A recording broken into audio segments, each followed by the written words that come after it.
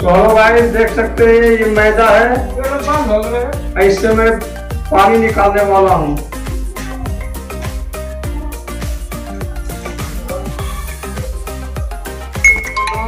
मेरे YouTube channel में आपका स्वागत है। तो आप सब कैसे होंगे? तो आप सब अच्छे होंगे। तो आज हम अपने दुकान में मोमोस बनाने वाला है। तो देख सकते हैं देहाती में मोमोज कैसे बनाया जाता है। तो मेरे वीडियो में तक बने रहे। लाइक कीजिए सब्सक्राइब कीजिए। और ज़्यादा से ज़्यादा शेयर कीजिए। तो मेरे वीडियो को एंड तक देखिए, मैं कैसे अपना दुकान में मैंने 250 ग्राम सोयाबीन ले लिया हूँ। और इसको 250 ग्राम पानी देकर मैंने उबालने वाला हूँ।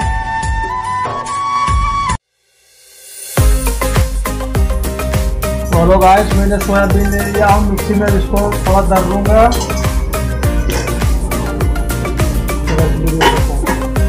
तैयार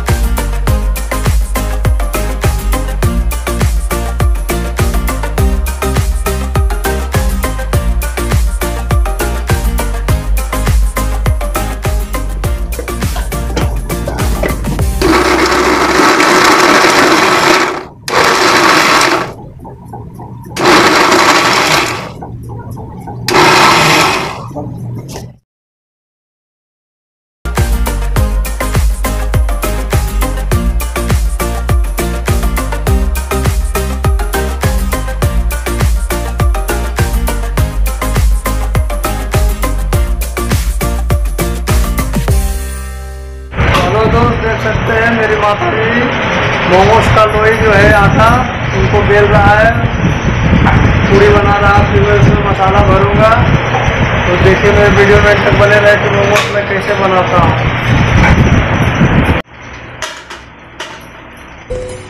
देख सकते हैं, ये मोमोज का मसाला तैयार है।